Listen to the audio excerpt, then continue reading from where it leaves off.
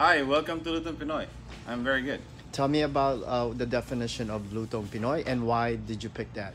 Well, Lutong Pinoy, uh, by the, the actual meaning of Lutong Pinoy, is actually cooked with um, a Filipino, which is uh, a guy from the Philippines.